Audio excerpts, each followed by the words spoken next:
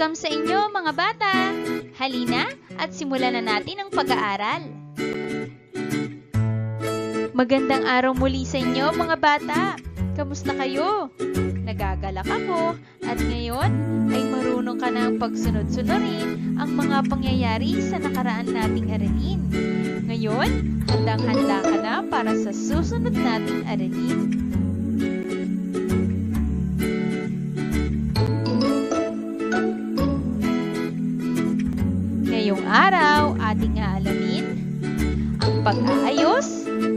Mga bagay ayon sa sukat. Handa ka na ba para sa ating bagong aralin?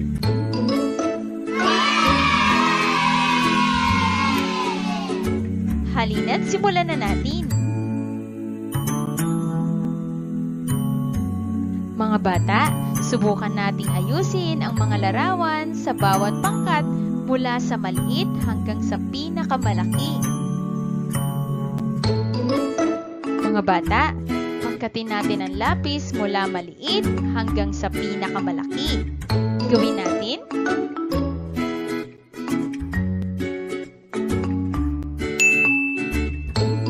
Magaling! Ngayon naman, ang mga panukat mula maliit hanggang sa pinakamalaki.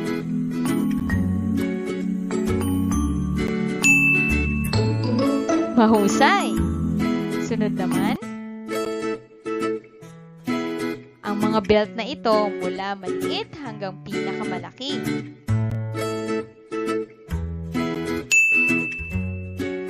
Mahusay! Sunod naman natin ang mga orange na ito mula maliit hanggang pinakamalaki.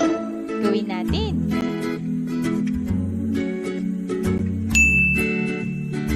Magaling!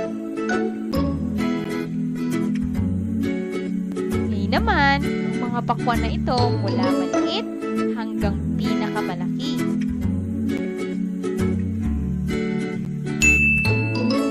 Mahusay!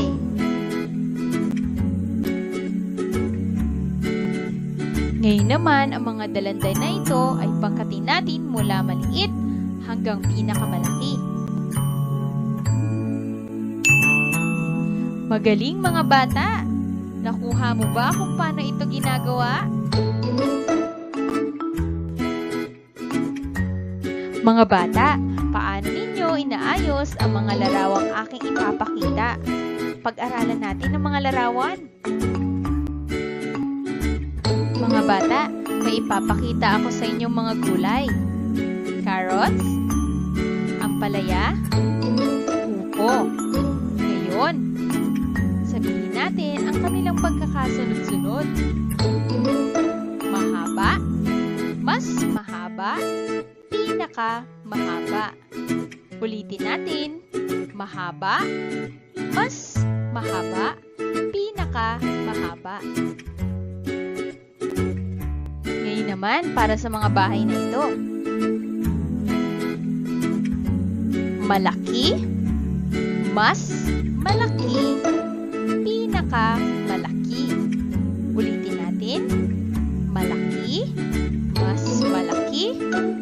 pinaka malaki.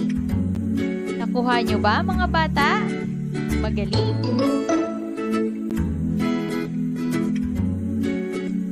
Mga bata, suriin natin ang mga larawan sa bawat kahon. Ihanda ang lapis at inyong module at tayo'y magsasagot na. Lagyan ng check kung ang mga ito ay nakaayos ng magkakasunod ayon sa sukat. Unang bilang. Pinakamahabang lapis, mahabang lapis, mas mahabang lapis. Tingnan natin ang tamang sagot. Mahusay! Hindi natin ito lalagyan ng check. Pangalawang bilang. Pinakamahabang pantalon, mas mahabang pantalon, mahabang pantalon. Tingnan natin ang tamang sagot. Mahusay mga bata!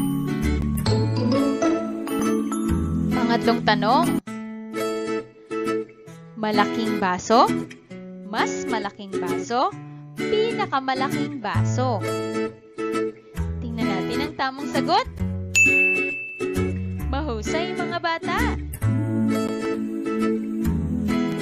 Pang-apat na tanong.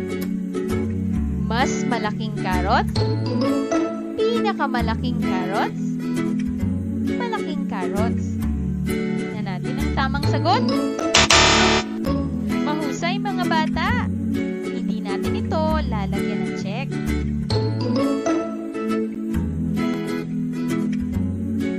Mga bata, para sa ating pagyamanin, ay sabayan ninyo akong bilugan ang tamang larawan.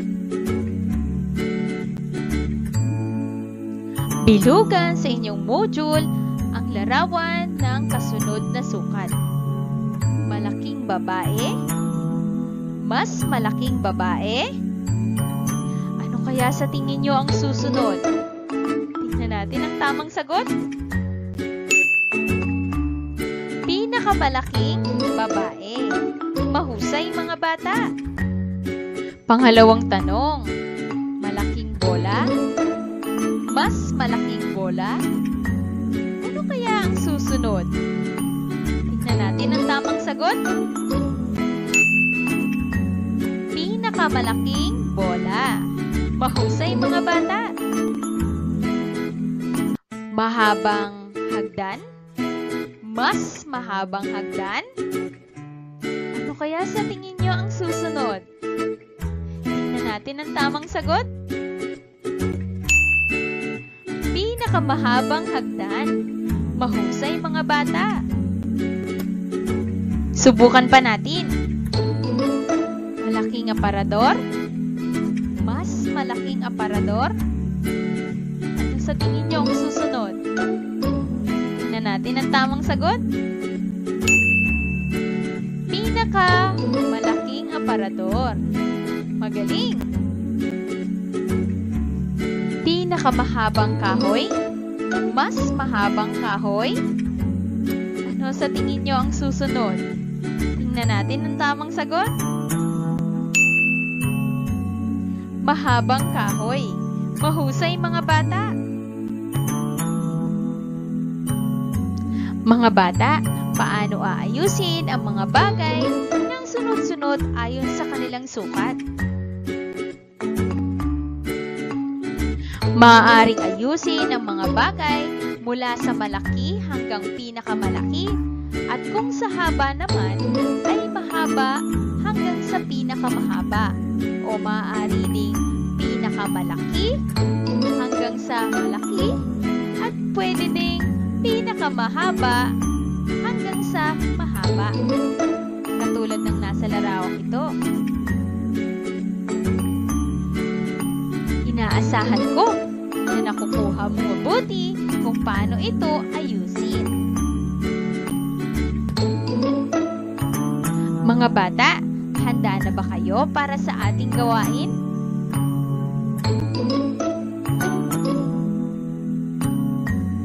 Mga bata, kumuha ng limang bagay sa inyong tahanan at ayusin ito ng ayon sa tamang pagkakasunod-sunod nito.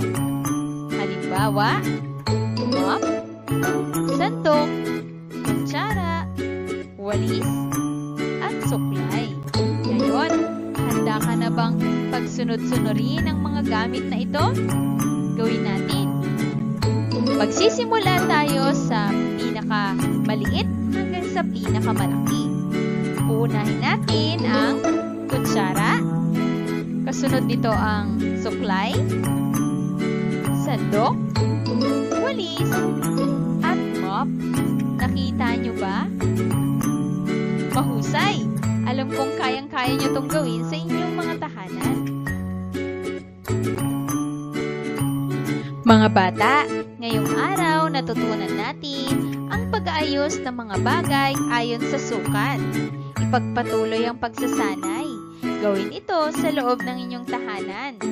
Dahil sa galing na iyong ipinakita ngayong araw, sa iyo ang star na ito.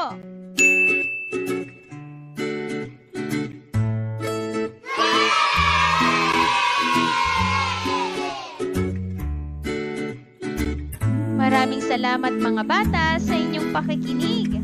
Hanggang sa muli mga bata, mag-aral mabuti at mag-ingat palagi. Paalam!